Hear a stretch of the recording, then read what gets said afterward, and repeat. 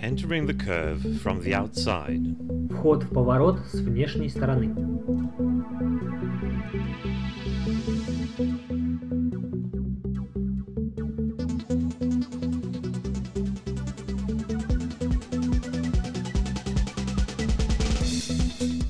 One thing is quite clear. Очевидная вещь. Езда на мотоцикле подразумевает прохождение поворотов. Мы покажем вам, как проходить повороты безопасно с помощью анализа видеороликов, которые мы сняли во время тренировок безопасной езды на одном из треков в Германии.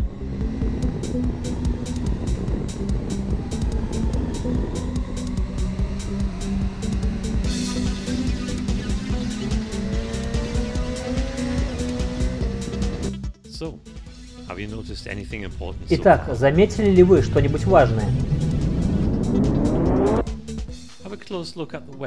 Обратите внимание, как райдер осуществляет вход и выходит из поворота.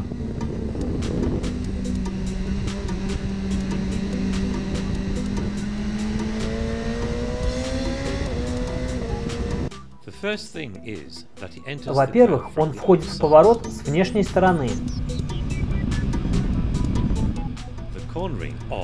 и вход в поворот осуществляется довольно поздно. Это называется входом в поворот с внешней стороны.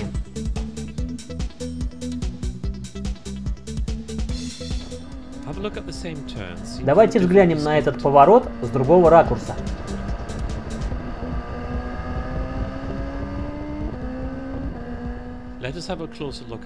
Давайте внимательно разберем то, что мы видим. Большинство райдеров склонны входить в поворот слишком рано. Красной стрелкой показано, как часто делают райдеры, и они входят в поворот слишком быстро, достигая апекса поворота слишком рано. Красным конусом обозначена траектория, по которой поедет райдер, если он последует в направлении, указанном красной стрелкой. В любом случае, это будет опасно на дорогах общего пользования, если райдер поймет характеристики поворота слишком поздно и будет не готов ко встречному трафику. Что произойдет, если райдер дольше останется на внешней стороне? Он достигнет внутренней кромки гораздо позднее. Зеленым конусом обозначен апекс. Давайте разберем другой поворот. Трасса Нюрбургринг, поворот Бергверк.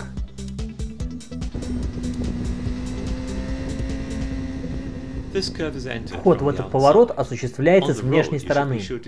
На дороге вы должны убедиться, что выдерживаете необходимую безопасную дистанцию, когда поворачиваете направо, соблюдая разумную дистанцию от центральной линии и затем смещайтесь левее к обочине. Находитесь на внешнем радиусе так долго, насколько это возможно. На этой стадии вы должны использовать тормоза только при необходимости. Скорость вхождения в поворот должна быть выбрана до начала вхождения в поворот. При замедлении вы также можете переключить передачу передачу вниз, если это необходимо.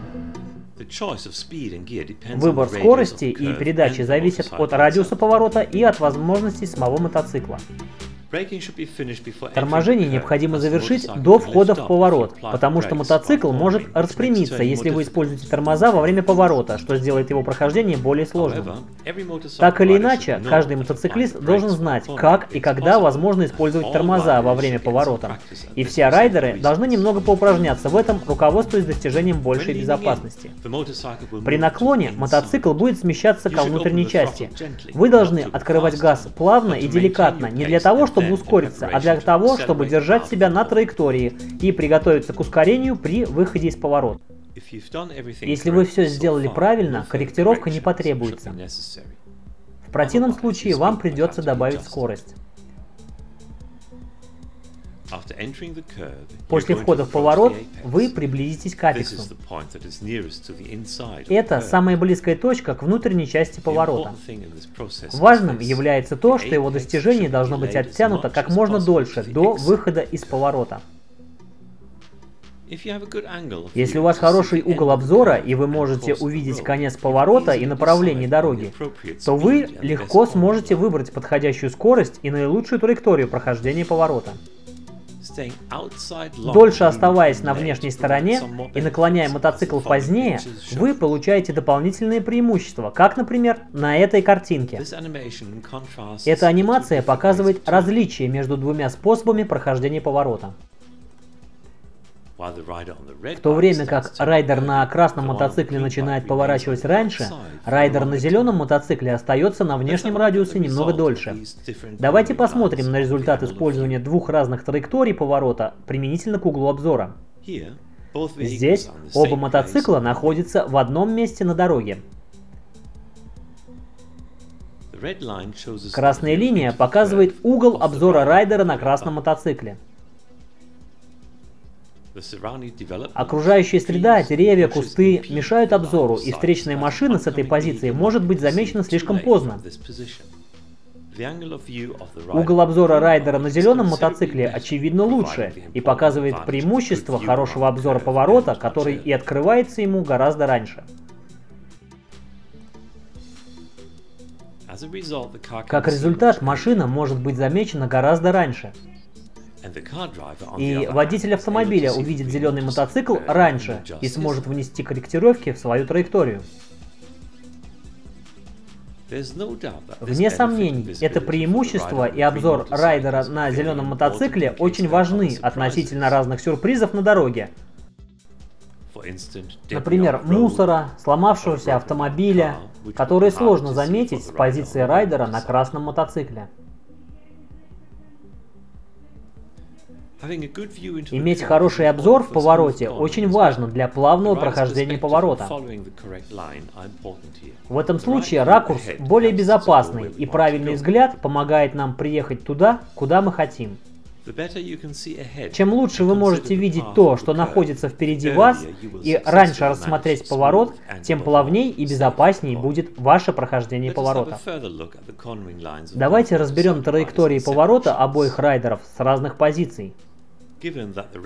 Красный райдер, несмотря ни на снижение скорости, ни на изменение угла наклона во время поворота, будет двигаться по окружности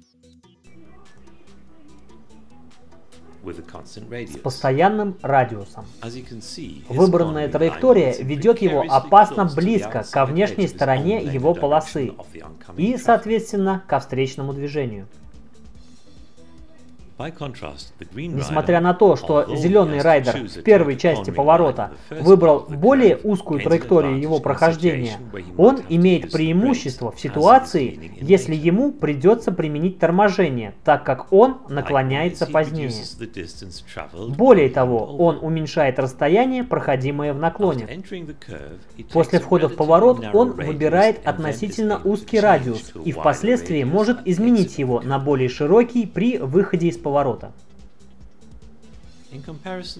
В сравнении с красным мотоциклом, достижение апекса оттягивается до выхода из поворота. Поворот осуществляется на меньшей скорости, что делает возможным более раннее ускорение. Вы можете снова увидеть обе траектории в непосредственном сравнении. Райдер на красном мотоцикле начинает наклоняться раньше, тогда как зеленый мотоцикл дольше остается на внешнем радиусе и имеет больше места, чтобы добавить скорость, находясь в повороте.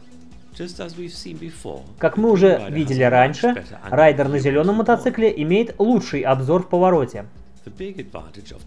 Большое преимущество более позднего достижения апекса – это лучший обзор.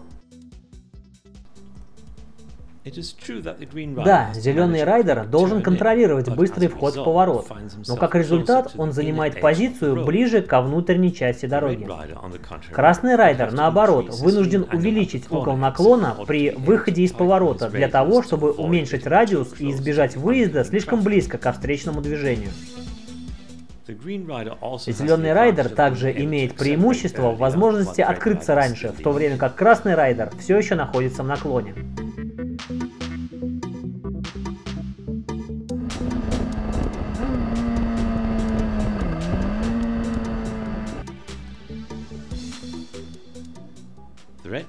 Красный конус – это точка начала поворота, которую выбирает большинство райдеров. Обратите внимание на апекс и как далеко на самом деле он находится. Еще раз, запомните, апекс – это самая близкая точка к внутренней части поворота. Как вы можете видеть, в этом случае апекс – это почти выход из поворота.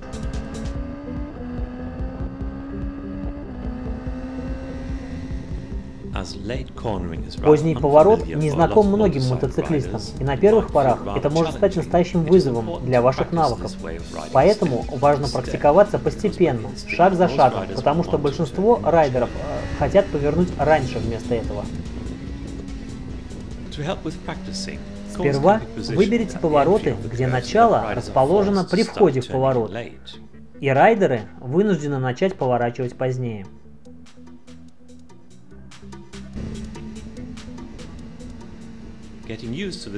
Используйте это сочетание при позднем повороте и выборе соответствующей скорости, потому что вход в поворот требует много практики и опыта.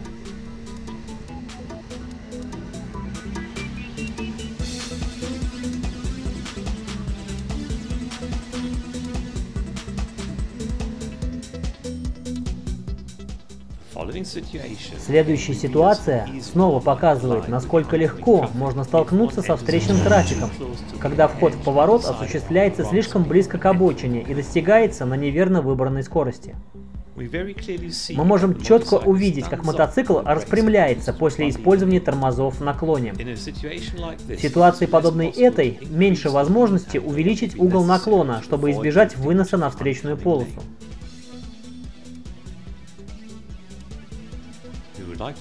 Мы хотели бы отдельно отметить и обратить ваше внимание на том, что поворачивание – это не статичный процесс, который каждый раз осуществляется одинаково.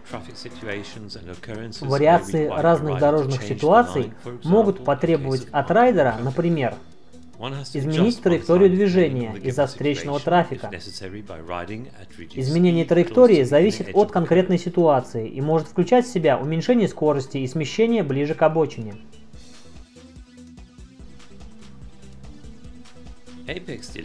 Оттягивание достижения апекса представляет преимущество не только при прохождении одиночных поворотов, а при череде последовательно расположенных поворотов отсроченный апекс приносит особо ощутимую пользу. Для поворотов, расположенных один за другим, траектория для каждого поворота будет выбираться в зависимости от ранее пройденного. Теперь выбор траектории и апекса становится важным.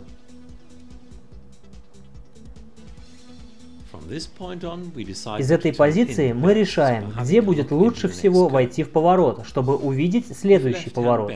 Например, в этом левом повороте райдер располагается ближе ко внешнему, правому краю. А в правом повороте ближе ко внешнему левому, чтобы иметь возможность входить в поворот с внешней стороны. Эта техника отложенного апекса позволяет выбирать траекторию следующего поворота при заходе по внешней стороне. Суммируя изложенное, прохождение поворота включает в себя приближение к повороту, торможение до входа в поворот, выбор правильной передачи, чтобы достигнуть правильной скорости, а затем поворот в направлении апекса. Подобно дороге в Лейквилле, мы остаемся на внешнем радиусе дольше, чем мы ожидаем, и выбираем траекторию и скорость, подходящие к конкретной ситуации. Наш заключительный совет. При прохождении каскада поворотов поворачивайте правильно. Те, кто считает, что такой навык, как прохождение поворотов, сводится только к переносу веса, заблуждаются. Только обдуманное и целенаправленное руление направят ваш мотоцикл туда, куда вы хотите приехать. Вне всяческих сомнений, прохождение поворотов, особенно на дорогах общего пользования, требует внимания ко многим аспектам. Для более подробной информации мы предлагаем вам ознакомиться с обучающими книгой и DVD «Конкретный мотоциклист» на ifz.de.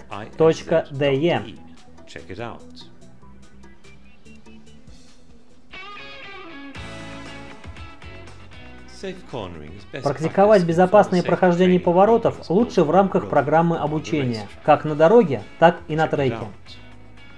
Не забудьте подписаться на нашу группу ВКонтакте MotoGymkhana73. Там вы найдете много полезной информации про управление мотоциклом.